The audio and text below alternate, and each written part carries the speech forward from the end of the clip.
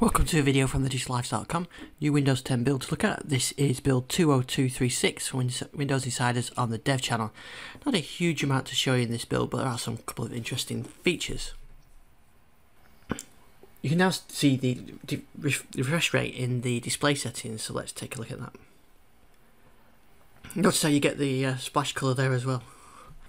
So you go here to advanced display settings and here you can see the refresh rate. You couldn't have that before, but apart from going through the old display settings in the uh, sort of the old control panel style way of doing it.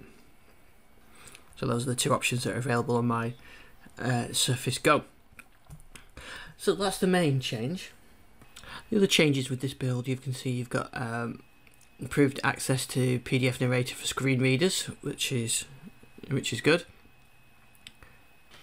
So the fixes are they fixed an issue with uh, Microsoft Edge is no longer available messages that a few people have had coming up.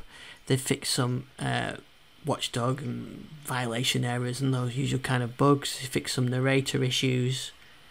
Uh, they fixed issues with timeline not launching the correct app. Um,